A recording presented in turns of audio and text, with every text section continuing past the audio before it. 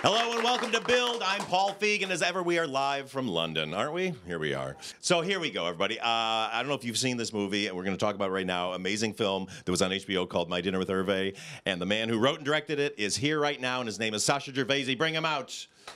Give him a hand. There he is. Handsome, handsome man. Hello, Sacha.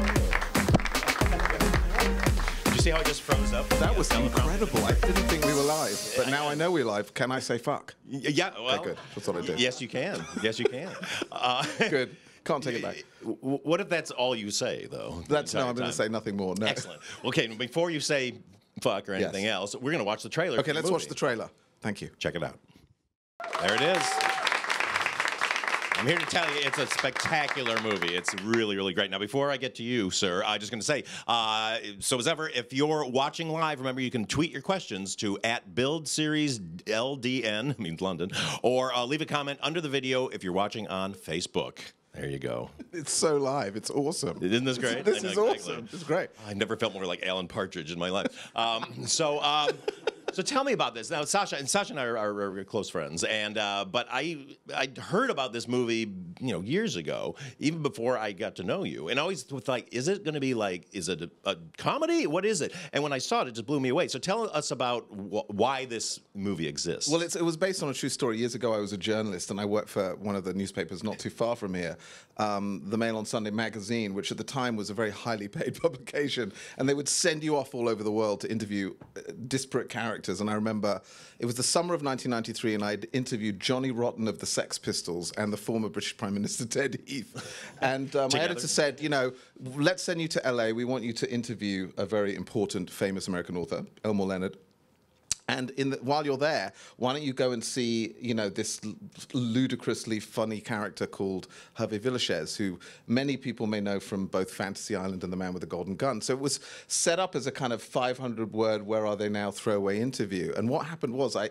I, I was rushing through my interview with Hervé, which was so strange because I had half an hour to interview possibly one of the most interesting people I'd ever met in my life. But I had to get to the more important interview. And at the end of it, Hervé uh, pulled a knife and said, uh, you you can't leave. I haven't told you the truth. Um, you know, you've just written the story before you got here. You have no idea the truth of my life. If you want to find out what really happened, then stay. And I was just so stunned. I mean, I didn't know whether to laugh or cry because how often is it that you're in danger of being shivved to death by the dwarf from Fantasy Island? Not that often. So I was just like, it, but he really wanted to get my attention. He pulled me in, and I thought, my God, this guy is not just sort of a silly catchphrase. Many people who know Fantasy Island will know that he stood in a bell tower and put his arm up and went, the plane, the plane, you know. So I just sort of threw him out, you know, just sort of judged him basically for being a kind of cultural joke from 10 years before. And I didn't think, what must it be like to have lived this person's life? And he really pulled me into that. And in, in reality, we spent three days together, and it was just the most unexpected encounter.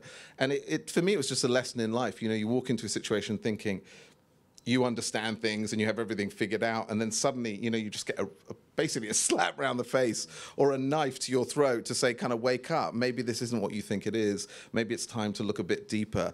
And I ended up con- connecting with him. It was very surreal. You know, when people talk about their lives, it can be quite emotional sometimes. And Hervé talked about what turned out to be, you know, an incredibly painful and complicated childhood particularly regarding his mother.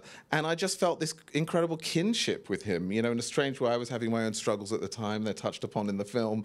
And I, I just felt a real connection with him. And I felt that, you know, he sort of looked how I was feeling. Yeah. And he became a friend. So by the end of the five days, um, I really felt like I owed it to him to tell the story, and that really was the genesis of the film. Was a promise I made to Hervé, uh, basically in the last week of his life, because after I left him in LA, um, I came home and got a call from Kathy, his girlfriend, seven days later.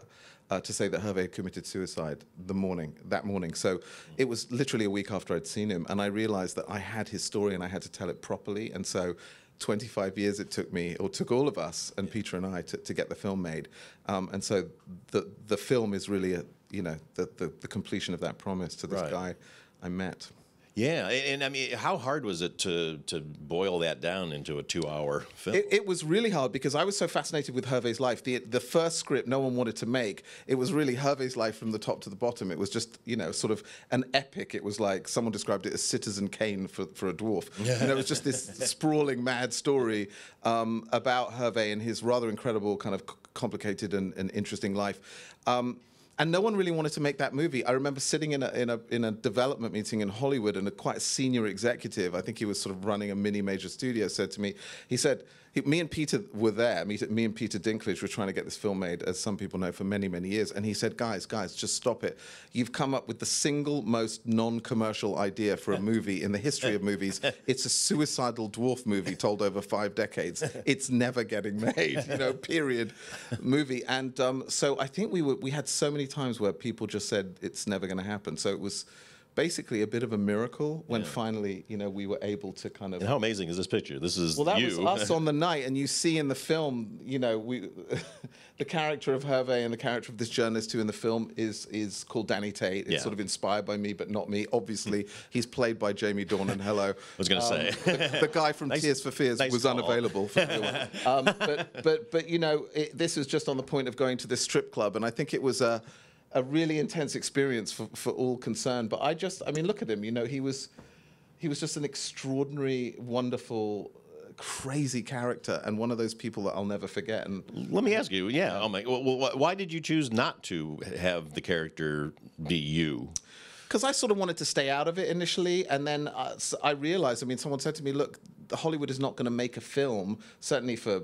Any kind of decent budget where the star is a dwarf. Obviously, things have changed in recent years, and Game of Thrones came along, and you know what? Suddenly, w- what was once considered to be this highly uncommercial prospect, suddenly, you know, Tyrion Lannister and, and Game of Thrones meant that actually you know people considered that we could make it. So there've been so many revolutions and evolutions in Hollywood, as we know, the kind of film that people Yeah. pe- pe- people are making about min- minorities. I felt. For me, it was you know telling a story of someone who's so vastly different to us, but who is so uniquely similar in so many ways. Mm-hmm. And I was astonished. And, and when you see the film, you see Jamie Dornan and Hervé Villechaize could not look more different. Yeah. And yet they have so much in common. Yeah. And they're both struggling with the same demons and trying to get to the same place. And I just felt it was maybe uh, sort of an interesting message to get out there right now, Yeah. where things are so divided, where where there is such polarization, and ultimately, you know, humans are humans, whether you're three foot ten or six foot five, mm. you know, and we all have fears and and hopes and dreams and failures and successes. And I just felt like you know, it was a film that its intention at least is to try and bring people together and try and make them recognize that you know visible differences aside we do share so many important things it's important sometimes that you know these stories remind ourselves Yeah. of those things And, and, and having Peter in it, I mean, it was definitely Game of Thrones helped propel it. yeah. But it, did you have a hard time working around his schedule? Was that? Uh, Oh, he, was, great. I mean, he finished the season. We scheduled to shoot, as you see, in the summer there. We were fortunate that we were able to shoot at the actual location of Fantasy Island, which 40 years later was still standing. Oh, God. Um, we didn't recreate it. And no, it was it was perfect actually. We had quite a tight schedule because actually the day after we finished filming, Peter's wife gave birth to their second child. So it was the out was not Game of Thrones; it was a new human being, and and so we had to really we had to sort of work around the clock. But it was a magical experience. Finally, after so many years, to get the chance to make a film that everyone told us was never going to get made. Right. And I think you feel, hopefully, if you if you like the film, you feel there's there's an emotion about it that's quite magic, and I think it's because, uh, you know, we could neither Peter nor I could forget this story. Yeah. And and obviously Peter had a real connection with it because having grown up, he saw Hervé as one of the s- sort of sole examples of someone who'd succeeded in the film business, and yet he was remarkably different in his attitude to Hervé. They're very different people. Well, you knew him, so you had the you had the personal connection. But do you think for Peter also it was a real goal to kind of rehabilitate, um, you know, Hervé's legacy because you know it, he had been turned into a joke. Absolutely. I think there was uh, this sense that Peter wanted to to humanize, you know, to make people realize, you know, there are these there are these differences that are obviously very profound and people, you know, rush to judgment and, you know, they want to separate from other from from groups that are min- minorities. But you know, I think he did. I think he wanted to remind people that human was that Hervé was a human being and not just a punchline. And I think one of the great compliments, one of the wonderful things that happened is is all the emails that we've got from people in the Little People community. In fact, the president of the Little People of America wrote a really beautiful article talking about how Hervé is the first time on film um, that many of the members of, of, that group feel they've been represented in a fair and accurate and honest way, and in a complete way, rather than just as a sort of joke, like an, an elf in a in a Christmas commercial or something like that. And so, for us, I think that was definitely part of the intention, but. I think it's given great satisfaction to Peter, mm. particularly to, to, to, recognize that aspect of Hervé and also to send that message. Yeah. Well, what was the process? I mean, you know, these are two really amazing actors. What was the process of, of working I mean, for them? those interested in the film process, um, you know, these days movies are so expensive, there's so little time to shoot that really, if you're lucky, you build it in rehearsal. Yeah. So I insisted on two weeks of rehearsal with the actors, and what we did was we we didn't even go through the script. We just kind of built the relationship between these two characters, Tate and Hervé and we did lots of exercises. We were on mad adventures, and I sort of took them into what I hope would be the feelings of the film, which is a true antagonism at the beginning that they have for each other, real alienation. They hate each other basically, and then finally sort of reaching a point of conflict and and sort of ultimately a one of connection. Yeah. And so we sort of built that journey in rehearsal, and that was really the process. Just but I think part of hiring really great actors is just letting them do their job. I try and yeah. sort of stay out of the way and kind of let them act. Yeah. But Peter and Jamie were really hungry for it. And I think that's a big part of I think why the film works is because they were really willing to go there. Because if you see the film, there's there's some very funny stuff, I hope, oh, yeah. and some very emotional stuff. It's, and they, you know, and, it's I mean it's it's heartbreaking too. I mean the, all the, the scenes of him his childhood yeah. is just it just destroys you, and, and it's it, that's why it's so beautifully set up because you kind of go into it. The first scene's very funny, yeah. you know, and weird, yeah. and you're kind of like, okay, I, I know where this is going to go. And the minute you very smartly go into his childhood early, you're so invested in him well, I think, you know, I didn't know anything about it. And I, I, wanted to replicate for the audience the journey I had, which is walking in thinking, God, let me get out of here. This guy's like a nightmare. He's a joke. You know, and suddenly having that turnaround and then pulling me into this incredibly emotional story yeah. about his mother, who was a very loving mother, except for the fact that she just couldn't bear the fact that she had produced what she just felt was a freak you know, and it's all about how freaks are rejected within society, even within their own families, not because they're bad, but because people can't handle it people just it's too much. Mm-hmm. so i think to go into those feelings which are not obvious and easy was something that was important for the film to do so that you understood from hervé's point of view what it must have felt like to have been born into the world and to have your mother just not able to love you. Yeah. she tried but she couldn't. And she never even approved she was never even happy with his fame. She actually made it worse. i think it, in a one sense it sort of shone a light shone a light on her shame you know it made it it was just a very complicated difficult thing. And i, I can't possibly speak for her because i don't know what it must have been like to have gone through that and feel like you you were at fault for producing a, a kid who wasn't you know physically quote unquote normal. So, but I tried to be as human and, and fair about it in the film, and all I know is that Hervé was in tremendous pain because of it. Yeah. And like many people, when you don't get that primal thing, that love, you know, we, we look in other things, don't we? You know, we look for fame and success and all these things to kind of fill us up, and invariably they're less satisfying than we want them to be, and we have to come back just to the truth of, of what life is, you know. Yeah, yeah. Um, you know, what do you think made him so self-destructive? I think desperation. I think he just really wanted that acclaim. He wanted that approval. You know, he if if he couldn't get love from from the place he wanted it from, he would find it in fame or money or whatever. And you know, like I said, I think those things ultimately are, are pretty empty. Yeah. They're fun for a minute, mm. but you know, after a while, it's like they're not really substantive. You know, yeah. and so I think it's important. I I, I I'm I'm happy he didn't grow up in an era of an era of social media. Because I think Hervé would have been all over it, like desperate oh for likes every ten minutes. He was just he was just a very wounded guy, you know, and trying his best. So I don't know. I kind of loved him. I just, I just really feel for him still, and I feel like the, hopefully the film is sort of a tribute. Oh, it's him. such a beautiful tribute. My God, it, it really. I mean, you, you have to see this movie. I was completely blown away. and it is funny at times. Oh, it's very well. there, there, are, there are jokes too. Emotional. Oh yeah, yeah. it's it's, uh, it's it's kind of everything. Now, yeah. as a fellow director, I always like to hear the bad stuff. What were the challenges? The challenges are how do you make a movie, a, a suicidal dwarf movie over five decades in period for the for the money that we had. Uh, the challenges are always time on a movie set. You know, as as we know, time becomes precious. It's very very expensive. So the challenges with that. Also, to be fair to Peter, you know, Peter has a voice that's down here. If you know Peter, you know, he's down here, and Hervé is right up here. He has this sort of nasal voice.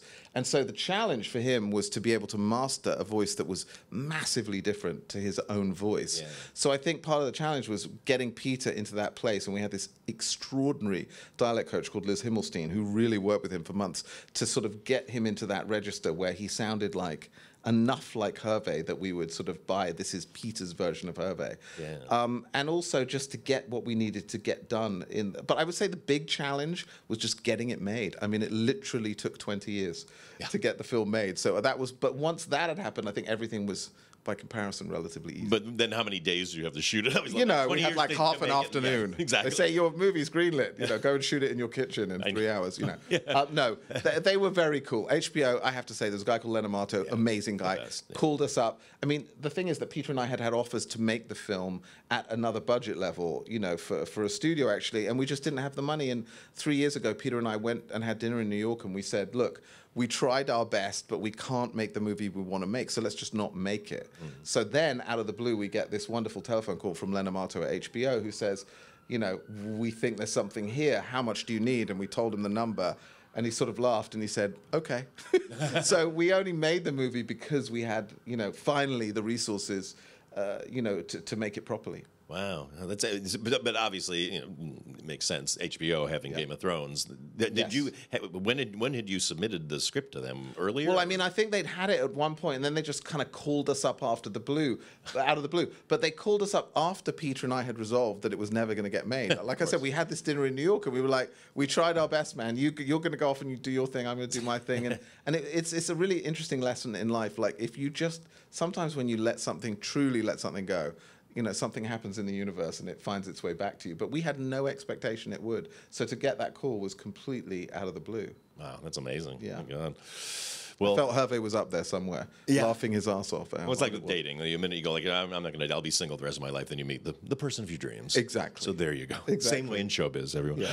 Um, well, what's next for you, my friend? Well, right now I'm currently uh, knee deep in a new screen, screenplay for uh, a film actually about Boy George and Culture Club, which is something I'm sort of hoping to make at some point relatively shortly. And I, I'm right in the research, and I've been spending quite a lot of time with Boy George, just listening to his sort of take on his life, which is unbelievably extraordinary, and what an epic journey he's had, and what and what incredible talent he is. The music is still there, and I remember because I grew up in that period. Yeah. And I, you forget right now, someone like Boy George is, you know, it's not that daring to be Boy George right now. Mm-hmm. But in 1982 in England, which was sort of like medieval times, it was nothing short of a revolution for Boy George to be running down the street, you know, with, with, with dreads and a hat and, you know, full makeup. And so I, uh, he's a bit of a, a wonderful uh, uh, and, and sort of brilliant pioneer. Wow. And I just, I'm so fascinated with him. So it's been wonderful getting to know him, the real person,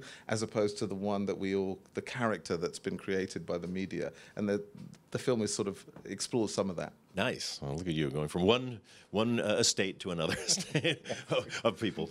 Uh, And I think we have something in common because your film Last Christmas, which I cannot wait to see, oh, I, well, thank you. features a lot of George Michael. And I, and I think the one thing we have in common is I think that George Michael may, and I don't know, Yeah. appear as a character in my film. So, Oh, oh my So we, It's all we'll see. We're going back to the 80s, everyone. There you go. Exactly. Yeah, my new mo- movie's called Last Christmas. Comes out in November. Uh, starring actually another Game of Thrones alumni, Emilia Yes, Clarke. that's So right. We're just working our and way around. who Game of came to our premiere and was so delightful. Yes. Yep, yep, There you go. So uh, yeah, and yeah, featuring the music of George Michael. So there we go. We're, we're, we're taking care of all the '80s icons. Anybody else? Anybody, anybody want to hear? When And it was- it- and does when but- your Flock of Seagulls movie come? That's what I'm working on the Bananarama series right now. No. Okay. Um, no, but what was really funny is okay. there was when when George was interviewed about who might play him in, in in the film. He said one of the most interesting suggestions was actually Sophie Turner from Game of Thrones, which is Oh. quite a crazy idea. And Sophie apparent, apparently tweeted and said that sounds great. And then ironically, I was on holiday in Italy a couple of weeks ago, and I ran into Sophie on her honeymoon with her husband, and we had a big laugh about it. It was just very funny. But we live in a world now where sort of the boundaries have changed and anything is possible. And I think that it's kind of an exciting time if you're a filmmaker or an artist or any kind of creative. Yeah. You can, you can really do do things differently. Well, there you go. We'll, we'll, we'll work our way through the entire Game of Thrones cast eventually in Exactly. our careers. Um, Sacha, our time is up. Paul. Build. I'm so sad. It's like our dinner. Should It we go is. have coffee? This now? is our Let's dinner, exactly. Who's paying the check? Yeah. Um, well, anyway, thank you, Sacha, for coming in today. And you can find My Dinner with Hervé uh, on Now TV and under the Emmy nominated, oh God, I can't read, the Emmy nominated section on Sky. We'll be joined tomorrow by singer Ella Eyre. I won't, but somebody will. And which, uh, they're going to talk about her new single, Mama. And it's going to be great. If I could be here, I would. But I'm going to be. But we're both going to be shortly throwing ourselves out of the yes, window. exactly. Yeah. Uh, but for right now, let's hear it for Sacha Gervasi. Thank you. Thank you.